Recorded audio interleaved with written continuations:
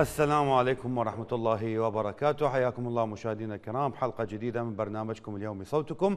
راح نعرض لكم بها أبرز ما تم تداوله على مواقع التواصل الاجتماعي وننتظر مشاركاتكم عبر أرقام هواتفنا اللي ظهرت أسفل الشاشة. عندكم رقمين بالأعلى. تقدرون تتصلون بنا من زاخو الحد الفاو. وبالنسبة للإخوة العراقيين الساكنين دول المهجر والأشقاء العرب من الخليج العربي حتى المحيط يقدرون يتصلون بنا وباقي دول العالم أيضا. على الأرقام الاثنين الموجودة بالأسفل إضافة إلى ذلك دا تلاحظون جو أكو إشارة واتساب تقدرون الرقمين الجو تسجلوها يمكن في حال ما حصلتونا على التليفون. مع شديد الأسف ما قدر نسمع صوتكم. كتبوا لنا رسالة واتساب أتمنى تكون متبوعة باسمكم ومكانكم حتى نقدر نقراها بالدقائق الأخيرة من حلقة هذا اليوم. بسم الله نبدأ ونبدأ مواضيعنا. بالتجاوزات اللي دا تصير بالعراق بها على العراقيين وبها على من هم أسمى من ذلك. نبدي باللي تخص العراقيين. بشكل خاص اليوم تعددت الظواهر السلبية اللي ظهرت وطفت على السطح خلال موسم زيارة الأربعينية هذه السنة. ورا دخول هواية من الزوار الإيرانيين بشكل مو منظم ومن دون أي تدقيق أمني. هذا الشيء انتقدوه هواية من بسطاء الناس وعامة الشعب بسبب الممارسات الهمجية للزوار الإيرانيين.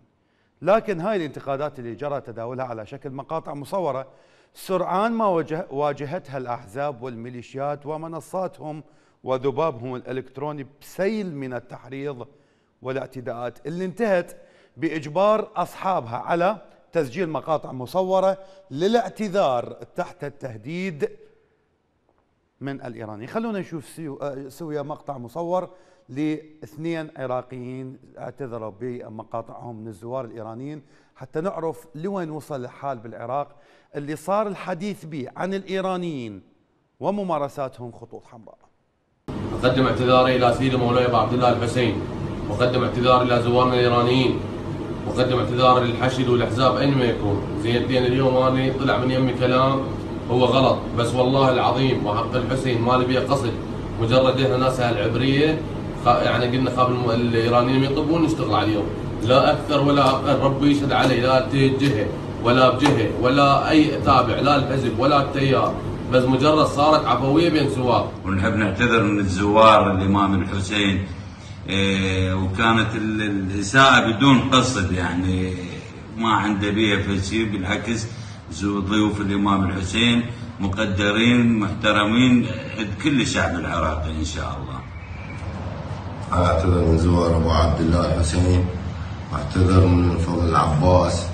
ودخل على بختم من زوار أبو عبد الله الحسين. وأنا خادمهم والله خادمهم.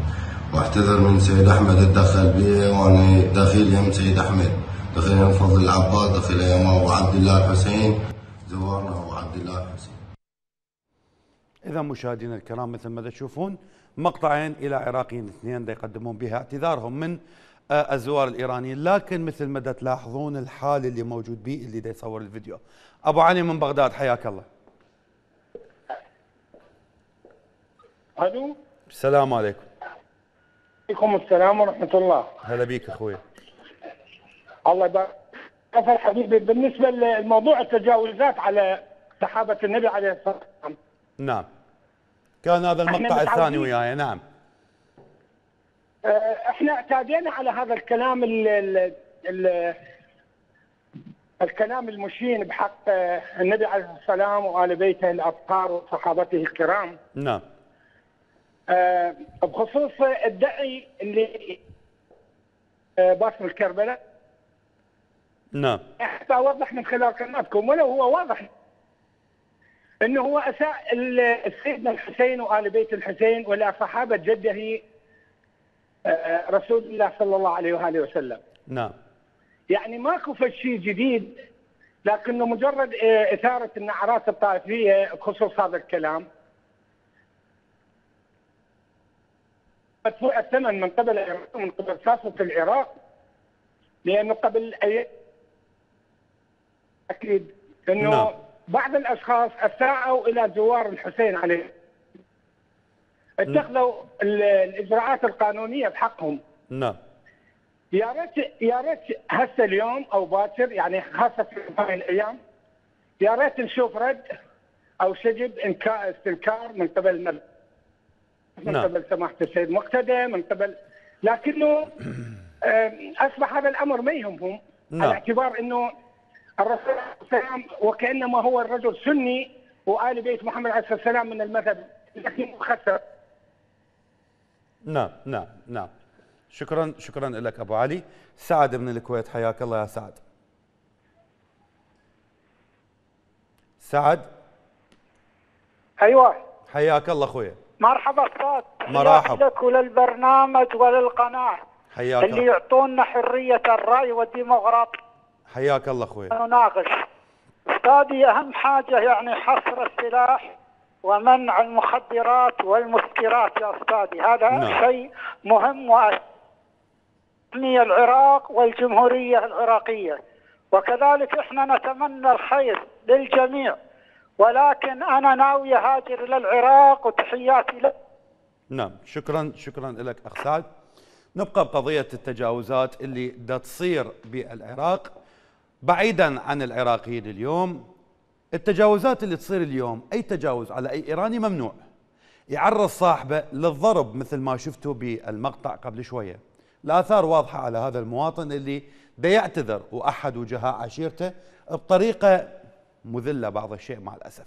لكن التجاوز على صحابة رسول الله مسموح في العراق ورا أيام من إحياء مجلس للعزاء برعاية عمار الحكيم وقيس الخزعلي. رواد مواقع التواصل الاجتماعي الدولة ومقطع مصور للطائفي باسم الكربلائي وهو يتجاوز به على مقام صحابة الرسول رضوان الله عليهم أجمعين. ليتقدم على أثر ذلك عدد من المحامين بدعاوى قضائية ضد الرادود الطائفي باسم الكربلائي بتهمة إثارة النزاعات الطائفية وأكدوا أنه الكربلاء ارتكب فعل محرض ومثير للفتنة الطائفية. وهو ما يهدد الوئام المجتمعي المركز العراقي لتوثيق جرائم الحرب اعتبر جريمة الإساءة إلى الرموز والشعائر الدينية بالعراق إساءة إلى جميع مسلمي العالم. وأوضح المركز أنه ما خرج من أحد مدعي التدين المعروف بباسم الكربلائي وهو يسيء إلى صحابة رسول الله صلى الله عليه وسلم بمقطع انتشر على مواقع التواصل الاجتماعي لهو مثال صارخ لآفة الطائفية وهو يعمل هو ومن يدعون حرية التعبير على تعميق مخاطر الانقسام المجتمع- المجتمعي والديني. خلونا نشوف إساءة الطائفي باسم الكربلائي على صحابة الرسول رضوان الله عليهم. قبل ما نستعرض التغريدات على وسم باسم الكربلائي فتنة. شيل اسم الصحابة واكتبهم عصابة. شيل اسم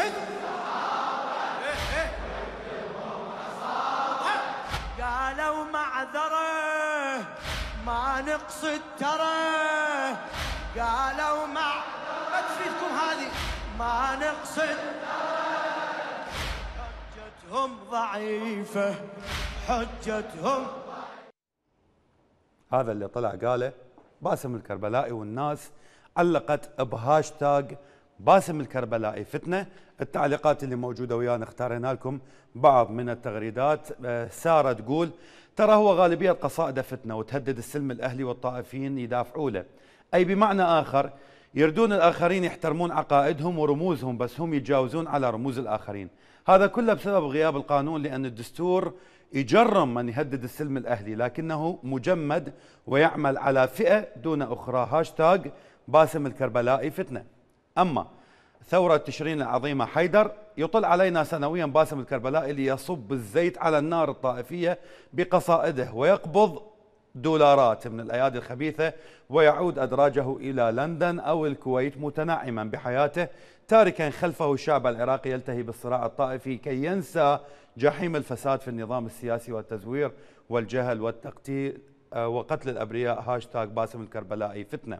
أما نور البرواري تقول قصائد لا تحمل فكر ورسالة وإنما فتنة وكره وطائفية حتى على أصحاب رسول الله محمد صلى الله عليه وسلم. أنت ومن معك لا تمثلون الإمام الحسين ولا علاقة لكم بقضية ومبدأ الإمام الحسين. هاشتاج باسم الكربلائي فتنة. أما زيد المشهداني عفوا زياد المشهداني من أهم أسباب هدم التعايش السلمي هو سب الصحابة وآل بيت النبوة.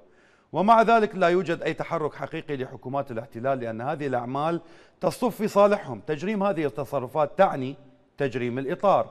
هاشتاج باسم الكربلائي. فتنة هذه بعض التغريدات اللي علقت على هذا الهاشتاج وبينا لكم بالملف الأول مقطعين. المقطع الأول هو إجبار الميليشيات على العراقيين أن يسجلون مقاطع مصورة حتى يعتذرون بها من الإيرانيين داخل العراق. المقطع الثاني هو تجاوز الرادود باسم الكربلائي على صحابة رسول الله رضوان الله عليهم أجمعين. أبو علي من بغداد ويانا حياك الله. الله يسعدك حبيبي. هلا بيك. أستاذ العزيز هاي المقاطع مال الفيديو ماكو؟ المفروض المفروض يتأدبون أكثر من هسه لأن دول ضيوف. يا مقطع أخوي العزيز. هذا قليل بحقهم دول المفروض يتعاقبون. من هم؟ دول هم طلعوهم بالتلفزيون بال- عندكم طلعتوهم هسه إيه ليش؟ اي دول لأن يتجاوز على الضيوف والضيف من يتجاوز على. ابن البلد عادي؟ ما يتجاوز ابن البلد جاي ضيف هذا أرجع وأسألك نفس السؤال لما. يطلع لك مدرسة مال بنات إعدادية ويطلعون بالملابس الداخلية هذا تجاوز لو لا؟ يا داخلي هاي أخوي العزيز طلع فيديو بنفس الحلقة ببرنامج صوتكم وأني طلعته. الفيديو يقول مدرسة النوافل الإعدادية للبنات بمحافظة واسط حولها المحافظ إلى سكن داخلي للزوار الإيرانيين وأمام البنات بالمدرسة اللي يداومون دوامهم الصباحي يطلعون الإيرانيين بملابسهم الداخلية. هذا تجاوز لو لا؟ عطلك هو مدارس شنو شنو الكذب هذا؟ مو أكو مدارس هي عطلة. يا مدارس شنو دا- تاولون الشغله تريدون تاولونها وتطولوها طيب. هذا كله كذب هذا طيب. إحنا وإيرانيين علاقة وإحنا إخوان وما طيب. لا إعلام غربي ولا طيب. إعلام اصفر يعني العراقي العراقي بالعراق. درجة ثانية والإيراني درجة أولى أفهم من كلامك؟ لا كلهم سواسية سواسية إحنا عندنا عقيدة الشيعة أبو علي سؤال أبو. علي سؤال. بإيران أنت والإيراني سواسية نفس الشيء أنا رحت نفس الشيء شكرا. جزيلا لك أبو علي أبو سمية من الأنبار حياك الله السلام عليكم. عليكم السلام ورحمة الله وبركاته. أخي الكريم نعم. هذا الصوت الطائفي النشاط وسائل التواصل الفضائيات نعم. آه، علينا أن نعلم أنه ما خرج من فراغ. كما يقول المثل من أمن العقابه اساء الأدب. نعم. لولا ترعى الطائفية وتؤجل ظهرت هذه الأصوات النشاز. جونا مشحون بعناصر أمنية طيب. مع احترامي للطيبين. عناصر أمنية وميليشياوية تبث الطائفية. والأمثلة كثيرة. من هذه الأمثلة آه، اشتكى وبكى أحد المتصلين العراقيين من أفعال جيش المهدي في العراق. يقول دخلوا علي في البيت طيب. قتلوا ابني. ذا الأربع سنوات وقطعوه وقلوه نعم بالزيت نعم نعم وأجبروني على أن آكل قطعة لحم منه. نعم. هذه أفعال جيش المهدي. نعم. هذه الأفعال التي تثير الطائفية بين أبناء الوطن الواحد أقولها لم تظهر إلا لأن الجو العام والقانون نعم. يحميها. وشكرا شكرا شكرا لك آه، أبو سمية. محمد من أمريكا حياك الله. السلام عليكم صار تحيه قناه البطلة. حياك الله أخوي العزيز. هسه دول أبو علي أبو علي سفيرة الله حتى الإيرانيين يباحثون حسهم ببيوتهم. وما عندهم غيره هذا باسم الكربلائي الفاشل حجمك الفاشل وهذا عمار الجنوب هم رب الطائفيه سفيرة الله. هم يسوون قنوات طلائعيه يسوون على سيدنا محمد؟ أنتم توصلون لسبب سيدنا محمد؟ أنتم الحسين ما تعترفون به؟ تموتون على العجل سفيرة الله اللي يحبون الحسين والله العظيم حتى الحسين ما يحبون؟ عم نعم. يحبون الايرانيين العجل نعم، والله نعم. العظيم هذا أبو علي وغير ابو علي لك الله حتى الايراني فاتت بيتهم يشهد عليه الله أنا حتى بيوتهم حتى صور الخمالي وصور الخميني الدجال الفاشل نعم. عندي ذولا ما عندهم غيره نعم. لك الله ذولا حرام عايشين بالعراق يشربون مي العراق ياكلون- ياكلون الخبز الخبز العراقيه الشريفه وأنا قتلهم حلال هم وعوائلهم طيب. والله العظيم وأقول شكرا شكرا لك أخ محمد. آه، محمد من ديالة حياك الله. السلام عليكم. عليكم السلام ورحمة الله وبركاته. شلون هلا بيك أخوي. أستاذ ليه زعما هي مبينه أنا سويت زوار ثاني ما شغله انه بال- بالزياره وكذا هذا هو كل الزين العراقيين بس المثقف اللي بيهم مو هاي الجهله الناس هاي الجهله ثلاث ارباعها جهله نعم. المثقف اللي بيهم يدري هو؟ إحنا دولتين اندمرت كانت اندمرت العرب من ذاك اليوم اليوم وهي الصفويه والعثمانيه هذا الكل اللي جاي الصفويين الإيرانيين. كسر عمر سقط الإمبراطورية الفارسية صار 1400 سنة حاقدين عليه رطبوا له هذا الوضع كله كسر ضلع الزهرة وأدري شنو. تري وإحنا ثمان هو هاي قاد 1400 سنه هم حاقدين نعم. إحنا صار حرب العراقية الإيرانية صار ثمان سنين وياهم اللي ينسونا إياها. إن شاء الله ال- ال- ال- ال- حتى حتى هاي مال باسم كربلاء اللي هسه جديد. هو يعرفوا التاريخ شنو؟ التاريخ يعرفوا نعم. خلوها كلها آه، يعني بس تقول قصص شعبية روائية. نعم، موروث نعم،. روائي مال عجائب مشوها عليهم. وكذا وهاي قداسه يعني المشكلة على القداسة. نعم نعم. شكرا الجهل شكرا لك محمد. وأعتذر منك بس عندي مواضيع أخرى وأكيد متصلين آخرين راح يتصلون.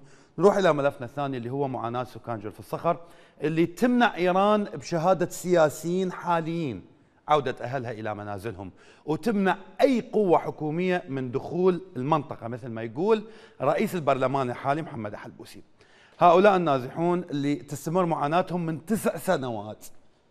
تقريبا ولحد هاي اللحظة هم منسيين مهمشين تتجاهلهم الحكومات ومن يدعون تمثيلهم تمثيل المناطق المنكوبة داخل البرلمان وراء استغلال قضية عودتهم انتخابيا من دون ما يشوفون أي وعد أو أي تحقيق إلى وعود إعادتهم إلى مناطقهم. النور حتى اللحظة في ظل سيطرة الميليشيات الولائية على أرضهم. مقطع مصور جرى تداوله إلى مجموعة من النساء والفتيات والأطفال. هم يناشدون من مخيم عامرية الفلوجة أهل الخير حتى يمدوا لهم إيد العون والمساعدة بالأكل والشرب والملبس والأدوية. خلونا نشوف قبل ما نستعرض التعليقات. الله الله بالمخيم ترى تعبانة. كلها والله تعاني. عنده راتب عايش والمراه الارمله الجامع فاطس سنتوع بكتفه عمي على كيفكم ويانا ترى حالنا حال. تراكم عايل بالمخيم. الله وكيلك تعبنا ومليان. جابوا المبردات وباقونا للناحية وخلونا. يعني إحنا وين نروح؟ ناشد من ناشد محافظه انبار إحنا إيران ما إحنا إيران. عمي هلا هلا بينا عاينا فطسات نمشي حافي طحين ب 55 منين تجيب العوائل الارمله منين تجيب؟ دايحة.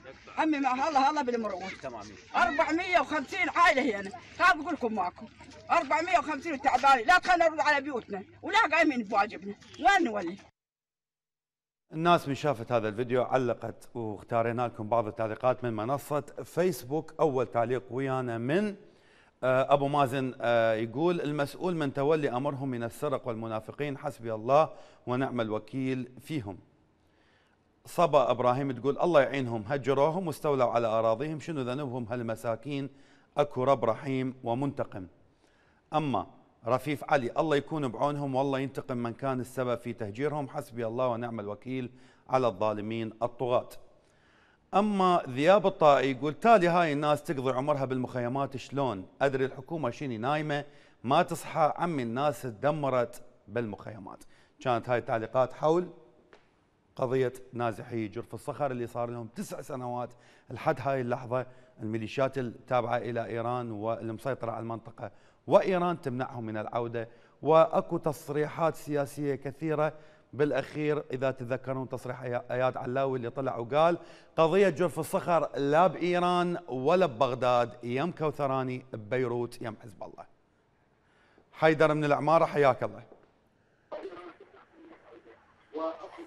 حيدر؟ حيدر تسمعني؟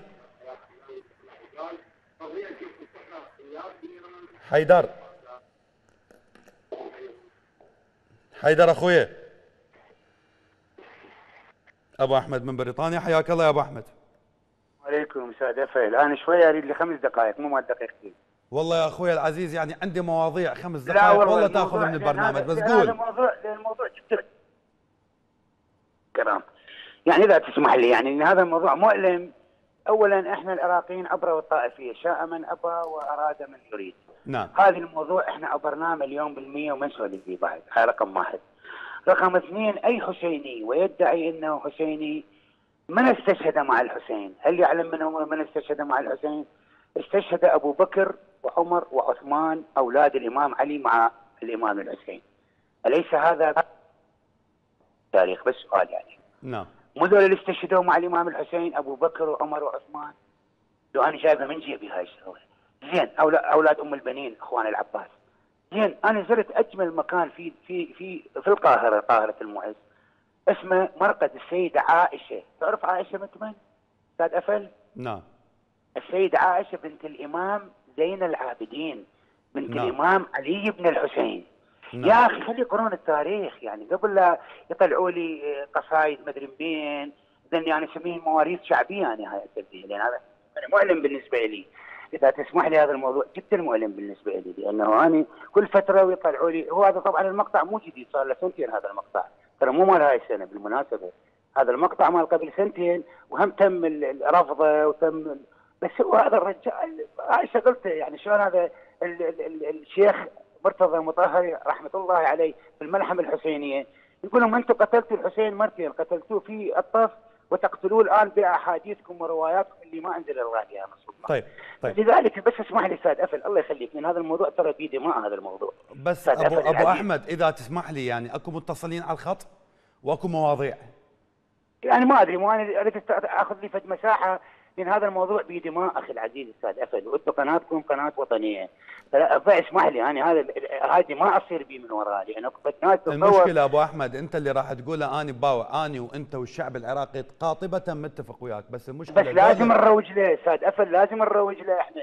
نعم. يعني أنا أنا رجال سيد موسوي بدي أحكي لك. نعم، إحنا لازم والنعم. نروج له. إحنا ما يصير إحنا ما يصير نسكت عن الباطل هذا باطل هذا. نعم. يعني تدري أنت تدري أنت أكو واحدة من الزيارات يسموها زيارة عاشوراء تدري أنا مرة قريتها قلت لهم إخوان هاي مثل الفوتوشوب أكو فوتوشوب. من واحد مثلا يلزق نفسه ماخذ صورة فد- شخصية نعم مشهورة. معروف. اللهم يلعن الأول والثاني والثالث ويزيد خامسا قلت لهم بينها التلزيقات مال الدولة الصفوية؟ فأخوي أستاذ أفل الآن الموضوع ترى خطر جدا. يجب أن نكون كليتنا. يد واحدة وصوت وصلت واحد. وصلت وصلت, وأنا. كان عندي بعض تعليقات على الأمور الأخرى بس اكتفي بهذا القدر وأشكرك جدا. شكرا لك أبو أحمد. حيدر من العمارة رجع لنا مرة ثانية. حياك الله. ألو؟ ألو. على قضية الباسم الكربلائي نعم. يعني إحنا هسه نقول مو أكيد هذا ال- الموضوع. يعني إحنا اليوم الان نحكي بالوحدة بالوحدة والمصاف إحنا مو أكيد شنو الفيديو اللي طلع مو أكيد؟ لا هو مو أكيد. يعني هو ما يقصد به الصحابه يقصد به معاوية ويزيد ما قتل الامام الحسين. معاوية ما أخذ حق الإمام علي. آه أخ حيدر أخ حيدر اللغة العربية سهلة. وياك سمع كان. آه، اللغة العربية سهلة وبسيطة ومعروفة. معروفة. أي؟ يعني لا. أسألك سؤال أريد أسألك سؤال. أنت تقول ما يقصد بي. يعني هسه أنا وياك لما نحكي. حفاظ فتك يا الخصبغة. الخلافة من علي بن أبي طالب يا الخصبغة. طيب. طيب أخ حيدر يعني بس إحنا ما نحكي نحكي طيب. على العلم طيب شكرا شكرا لك احنا- حيدر. آه، أعتذر منك وشكرا لك مشاهدينا ظاهرة الاستحواذ على الأراضي ومصادرة المنازل بغير وجه حق مستمرة بالعراق وبرعاية ويبدو أنه داخل رعاية حكومية. الاستحواذ على المنطقة الخضراء وما بداخلها من قصور ومباني سكنية ما أشبع طمع الحكومات والأحزاب والميليشيات والكتل السياسية. بدأت تتمدد إلى أملاك المواطنين بمجمع القادسية وغيره. فالسؤال شنو اللي دا يصير داخل المنطقة الخضراء من انتهاكات لحقوق الإنسان من قبل دائرة عقارات مجلس الوزراء؟ بذريعة إنشاء مجمع مجلس الوزراء السكني ومن إخراج للضعفاء والفقراء من سكانهم ومن منازلهم وطردهم من هاي الأماكن ومنحها إلى مستثمر وبعض المسؤولين. هذا اللي راح نعرفه في سياق هذه المناشدات اللي راح نعرضها لكم مشاهدينا الكرام. أنا المواطن برغام على الحسين. أسكن في منطقة الخضراء ببيت عائل الصخور. بيت خرابة أنا وعائلتي زين وعندي وأنا من ضحايا الإرهاب وابني معوق ووالدي شهيد وأخوي شهيد. وأنا جاني الخلاف. صار لي طلعوني من البيت صار لي 60 يوم. وما عندي من غير هذا البيت. وأنا عندي تخصيص رسمي زين سابقا كنت أسكن بهذا البيت. زين. وما عندي ما هو غير هذا البيت. واريد مساعدتك. أنت والانسانيه هم الفقراء أنت ضحى الأرهاب. زين. وأنا ما عندي أي بيت برا زين. وما أسكن ما يعني ما عندي سكن غيرك أنا أسكن المنطقة الخضراء في كرفان. وعندي الموافقات الأصولية والتخصيص الرسمي. لذلك حصل استثمار للمكان اللي أنا أسكن به. لإنشاء مجمع سكني. فتقدمت بعدة طلبات لغرض تغيير محل السكن وهنالك الكثير من الأماكن. ولم أطلب المستحيل بل طلبت البسيط فقط للحفاظ على حياتي وحياة عائلتي. تقدمت بعدة طلبات لكن مع الأسف مكتبك الخاص قسم العقارات متصلب برأيه ولا أعلم الأسباب.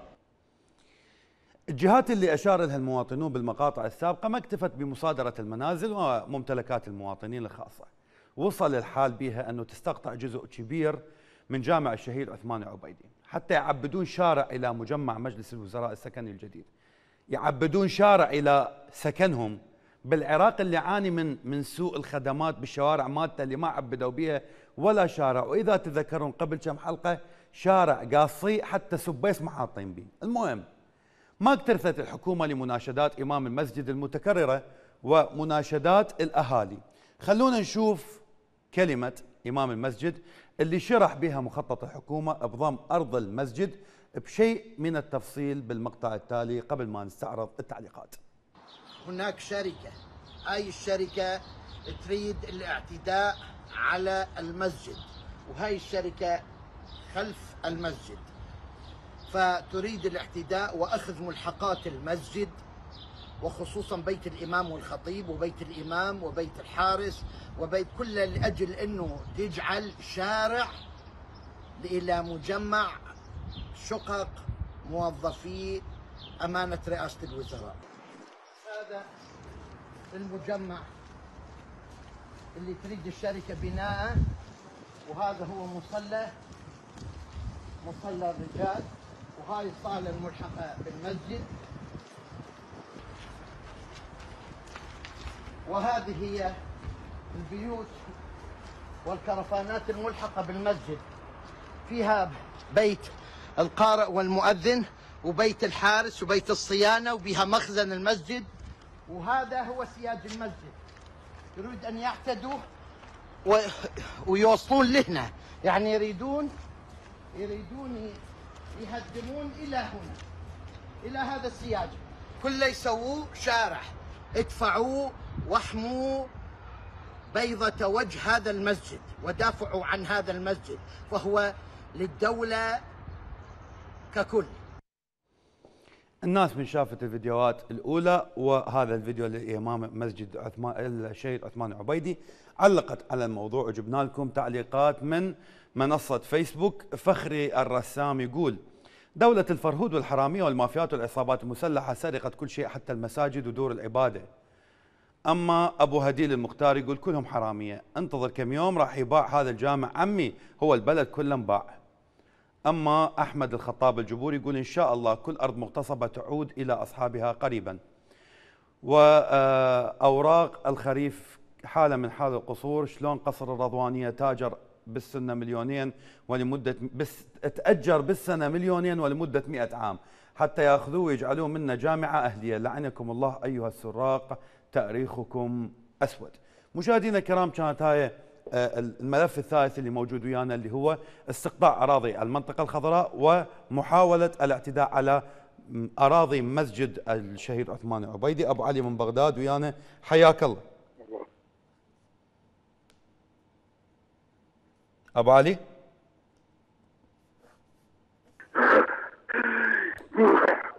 أبو علي تسمعني؟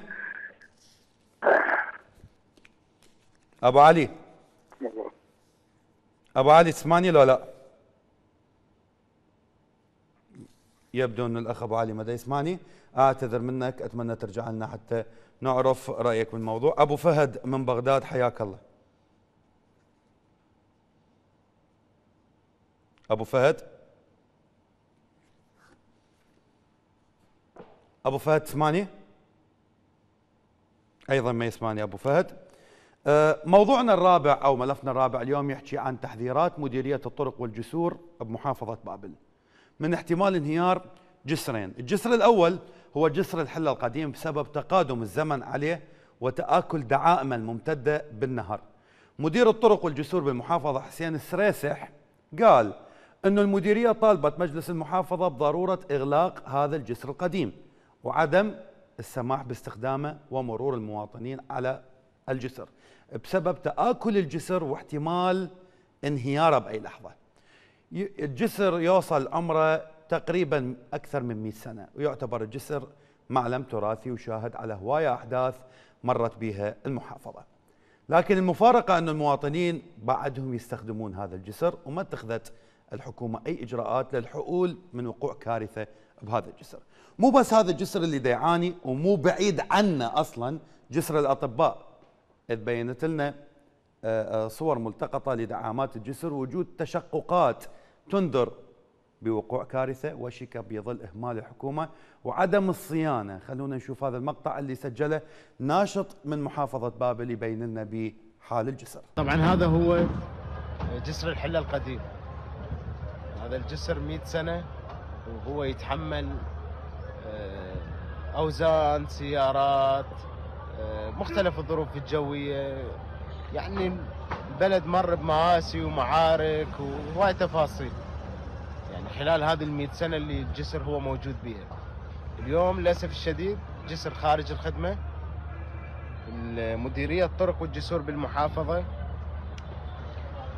تصريح صحفي طبعا مدير الطرق والجسور يتحدث إنه إنه المديرية منطيه خبر للحكومة المحلية لقيادة الشرطة المديرية المرور إنه يغلقون هذا الجسر. بس لحد الآن الجسر موجود والناس تعبر عليه سيرا على الأقدام وأيضا بالسيارات.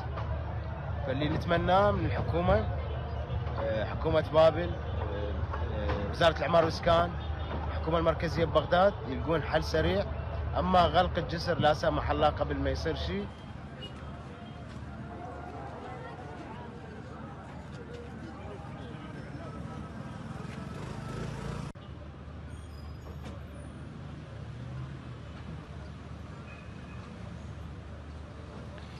بعيدا عن التشققات اللي موجودة في ركائز الجسر كمية النفايات اللي موجودة على الجسر وأسفله هاي هاي مصيبة لأنه هاي واجهة بلد. أي واحد يجي أي مسافر يطب لهذا البلد راح يشوف هاي النفايات شوف الصورة اللي دا تنقل إلى إلى إلى الخارج. الناس علقت على موضوع تهدم أو احتمالية انهيار جسري الحله القديم والأطباء آه، هيام آه، ربيعة كاتبة هو من تصير كارثة يلا يتحركون وكلها تتبرأ من المسؤولية. آه، أسو تقول وداعتك كل شيء ما يسوون ينهار الجسر ويسوون حداد كم يوم ولا كأنه شيء لم يكن. عباس يقول الحكومة آخر تفكير تفكر به هي الحياة المواطن لأن الدم رخيص. أما بيداء العزاوي تقول هو العراق كله في انهيار مستمر ابتداء من الأرواح حتى البناء بقت على الجسر ومن تموت الناس يترحموا لهم إذا مشاهدينا الكرام كانت مواضيعنا الأربعة اللي موجودة ويانا هي التجاوزات اللي تصير داخل العراق في آه، مزامنة مع زيارة الأربعينية. عندنا فيديو الأول بينا به آه، مواطنين عراقيين تحت تهديد السلاح وضاربيهم وهاينيهم وصوروا اعتذار إلى الزوار الإيرانيين. والفيديو الآخر هو تجاوز الرادود باسم الكربلائي بطائفية على صحابة رسول الله رضوان الله عليهم أجمعين. نازحين جرف الصخر حالهم نقلنا لكم مناشدة آه، عائلة. عندنا آه، تجاوز آه، مجلس الوزراء على منازل المواطنين بالمنطقة الخضراء ومصادرتهم للمنازل وأيضا محاولتهم مصادرة جزء من أرض جامع الشهيد عثمان العبيدي وآخر فيديو ويانا أو آخر ملف ويانا هو جسر الحل القديم وأيضا جسر الأطباء اللي من يعني بأي لحظة ممكن أن ينهار بسبب انهياره أو شفتوا الصورة مالته. مشاهدينا الكرام أكدت تقارير صحفية تفاقم موجات النزوح القسري بعدد من المحافظات الجنوبية نتيجة أزمة الجفاف اللي تعد إيران من أهم أسبابها. بسبب قطعها مصادر المياه عن العراق. مصادر عدة أكدت تحمل الجهات الحكومية مسؤولية موجات النزوح آه، لأنه ما عندها معالجات ناجعة للجفاف وشح المياه إضافة إلى عدم تلبية المحافظات الجنوبية لمئات الطلبات من سكان مناطق الأهوار اللي أكدوا بها عدم صلاحية المياه للاستعمال البشري. قسم التواصل الاجتماعي بالقناة سلط الضوء على هاي القضية وأعد لكم تقرير عن الجفاف اللي يضرب الأهوار وتبعاته الإنسانية. بهذا التقرير خلونا نتابعه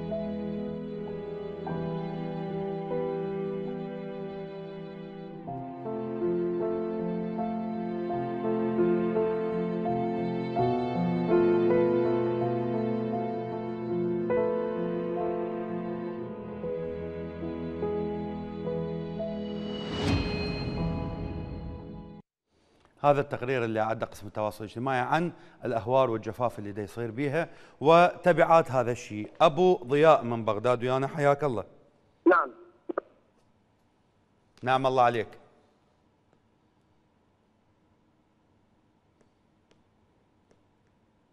أبو ضياء. نعم. تفضل أخويا.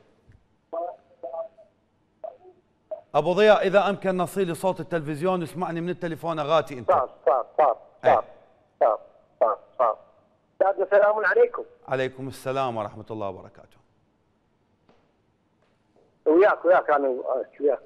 أي نعم أخوي السلام تفضل. عليكم. عليكم السلام ورحمة الله وبركاته.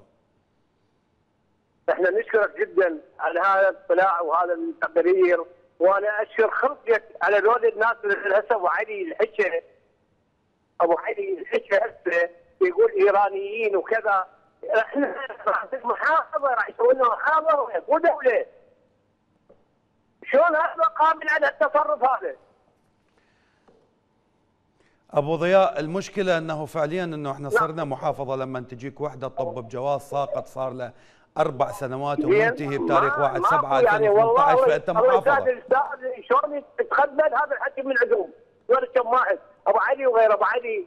نعم. واجبنا واجبنا أبو ضياء. نعم. تفضل.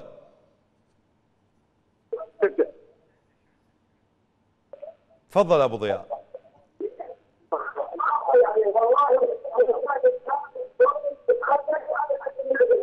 طيب أكو مشكلة بالصوت من المصدر يعني تشويش عالي مدى افتهم أعتذر منك أبو ضياء وأعتذر من السادة المشاهدين. إذا ما افتهموا ال- الكلام الأخير اللي قاله تعرفون حال الاتصالات بالعراق والفساد اللي دا يصير بالاتصالات بالعراق وهي واحدة من مشاكل العراقيين اللي يدفعون فلوس وما يحصلون خدمة. أبو فهد من بغداد حياك الله. رحم الله والديك عيني. والديك الرحمة اخويا تفضل اغاتي أبو فهد؟ أبو فهد؟ انقطع الاتصال ويا أبو فهد. أعتذر منك ومن السادة المشاهدين. آه، قضية ال ال ال هاشتاج إنه دعا مدونون الناشطون إلى محاسبة نوري المالكي على ضوء التسريبات اللي ظهرت إلى نوري المالكي وعلى خلفية اللي قاله واللي طلعت له وما قال بداخلها من تسريبات وجددوا مطالبتهم للقضاء بالتدخل وعدم تسويف هاي القضية. اللي ظل بها القضاء بالعراق ساكت ولا يم الموضوع ولا سوى أي تحقيق بالمعلومات الخطيرة اللي انحكت بهاي التسريبات اللي قالها نوري المالكي واللي تسربت عنه. وسم هاشتاج استمروا على التسريب. تصدر ترند العراق بتويتر هو ما اخترناه لكم بفقرة هاشتاج هذا اليوم. خلونا نقرأ لكم بعض هاي التغريدات. أول تغريدة من علي المشهداني يقول تسريبات نوري المالكي ترتب عليها أثر فعلي وسالت بسببها دماء حيث أن المالكي نفذ تهديده بقتل متظاهري تيار الصدري عند بوابة منزله بالمنطقة الخضراء بواسطة الميليشيات التي شكلها بقيادة المجرم أبو أسد الياسري. هاشتاج استمروا على التسريب. أما عواطف مجيد الموسوي هاشتاج استمروا على التسريب. الجميع يعرف ومتأكد أنها تسجيلات حقيقية. والكل يعرف مستوى الإجرام الذي يحمله المالكي. ومن يكذب التسجيلات هو فقط من لديه مصلحة في بقاء هذه العصابة المجرمة. أما ابن العراق المالكي يقتل العراقيين بفتوى من الخارج لكن القضاء الساكت عن كل الجرائم التي تحدث بعلمهم مع الأسف. هاشتاج استمروا على التسريب. أما أم منتظر الربيعي تقول اسمع شنو يقول. مراجع اشتروهم منو يقصد يا مراجع وليش القضاء ما سأل المالكي؟ ليش القضاء ساكت عن تهديد أمن العراق القومي؟ لو القضاء مسيس فلهذا ما قدر يتجرأ ويحاكم المالكي ويقدمه للعدالة للأسف. هاشتاج استمروا على التسريب. إذا مشاهدينا الكرام هاي بعض التغريدات حول هاشتاج استمروا على التسريب واللي يقصدون بها ما سرب عن المالكي. ملفاتنا اللي أخذناها بالحلقة أول ملف هو إجبار الميليشيات للعراقيين على تسجيل مقاطع مصورة يعتذرون بها من الزوار الإيرانيين.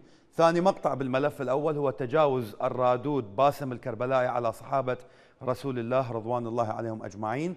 ملفنا الثاني عن نازحي جرف الصخر وراء تسع سنوات من معاناتهم. بعدهم يعانون بعدهم بالمخيمات بعدهم ما محصلين شيء ويطالبون ناس تساعدهم أكل شرب ملبس آه، أدوية. وأيضا يرجعوهم إلى مناطقهم اللي إيران والميليشيات مانعتهم من العودة إليها ثالث ملف هو استيلاء آه، مجلس الوزراء على منازل المواطنين بالمنطقة الخضراء حتى يسوون مجمع سكني. والفيديو الثاني بهذا الملف هو محاولة أخذ قطعة كبيرة من القاع حتى يسوون شارع لهذا المجمع السكني. يعني بعدهم ما بانين المجمع فكروا بالشارع. ليش؟ لأنه إلهم بينما العراق من شماله إلى جنوبه بمشاكل بالطرق. وواحدة من الأسباب اللي تؤدي إلى حوادث وأغلب هاي الحوادث تكون مميتة. وقبل كم يوم طلعنا تقرير عن محافظة ديالى أنه حوادث مرورية بها مميتة ونسبة عالية جدا وهي أعلى محافظة بها حوادث بسبب سوء الطرق. الملف الرابع اللي كان موجود ويانا اللي هو تهالك جسر الحلة القديم اللي عمره تقريبا 100 سنة والناس لحد الآن تستخدمه علما أنه هم قايلين هذا الجسر راح يوقع. لازم توقفوه لازم تمنعون الناس تصعد فوقه. لكن شفتوا الفيديو الناس رايحة جاية وما حد داير له بال. شفنا الأهوار وأيضا الهاشتاج اللي موجود ويانا بالحلقة. مشاهدينا الكرام بالنسبة إلى رسائل الواتساب آه، أبو فهد من بغداد ويانا. أبو فهد. السلام عليكم. عليكم السلام اخويا السلام عليكم أستاذ. عليكم السلام اخويا شلون الصحه أستاذ هلا بيك اغاتي أستاذ إن شاء الله يجي يوم من الأيام نخلص من هاي ال- ال- الأفواه الحشاشه القذره اللي اللي تدعي بالطائفية. وأنا متأكد إنه العراقيين العراقيين عرفوا من الذي قتل عمر ومن الذي شكرا شكرا لك أبو فهد وانقطع الاتصال وياه لكن أعتذر منك وقت الحلقة راح يخلص. أول آه، رسالة ويانا تقول آه، قناة الرافدين أنتم قناتي الحبيبة أنا عراقية شمرية من الموصل من حي العربي حياك الله أختي العزيزة. رسالة أخرى آه، تحية أستاذ أفل. سؤال لماذا لا يقوم الوقف السني بفتح العراق لزيارة الشيخ عبد القادر الجيلاني أو الشيخ أبو حنيفة النعمان رضي الله عنهم؟ لماذا على الناس حلال تفتح الحدود لإيران حتى السنة هم عندهم مقدسات بالعراق؟ خلي تفتح الحدود للعرب والأتراك والباكستانيين والأفغان لزيارة مراقد أهل السنة. تحياتي أبو يوسف من الدنمارك ورسالة أخرى من أنا عراقي من أب شيعي وأم سنية العراقيين كلهم على راسنا. أخوي العزيز هاي المسميات جابوا على ظهر الدبابة الأمريكية وما نعترف بها الوطن عندي فوق كل شيء. الوطن أعلى من المذهبية والدين والقومية. اليوم أثناء زيارتي للحسين عليه السلام شاهدت بعض رايات العلم الإيراني ترفرف فوق أرضنا. لقد أزعجني ذلك. الغريب في الأمر أن العراقيين ما أبدوا أي اهتمام. علينا أن لا ننسى شهداء الحرب العراقيين مع إيران. أشكر من تواصل مع قناة رافدين برنامج صوتكم لهذه الحلقة. أشكر من كتب أي رسالة وحاولت أقراهن. هذن اللي وصلن إلي وأتمنى بالأيام الأخرى تجينا رسائل يعني أكثر. آه، أشكر من تابعنا. شكر لكم مشاهدينا الكرام. لكن عندي سؤال واحد. عندي سؤال واحد بس. لما زائر كأيا كانت جنسيته. بعيدا عن إيران دا أحكي هسه زائر إلى بلدنا إلى عراقنا الحبيب. من المفترض عليه أن يحترم العراق أن يحترم العراقي وأن يقدر القانون ويخلي فوق رأسه. هذا هو. وإحنا كعراقيين من المفترض أن نعتز ببلدنا لما يجينا زائر ونكون إحنا مبين افضل صورة عن هذا البلد، لكن الصورة اللي دا تطلع لنا اليوم خصوصا مع وجود بعض الاتصالات اللي دا تبين لي إنه العراقي ببلده درجة ثانية. السؤال ليش؟